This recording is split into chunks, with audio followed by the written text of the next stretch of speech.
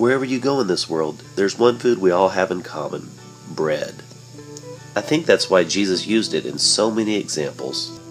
In Luke chapter 13, the Pharisees were angry with Jesus for healing a woman on the Sabbath day.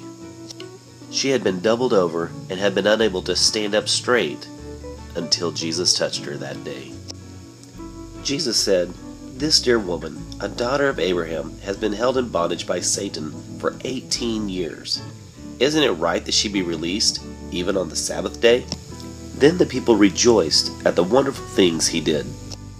A few verses later, Jesus asks, What else is the kingdom of God like? It is like the yeast a woman used in making bread.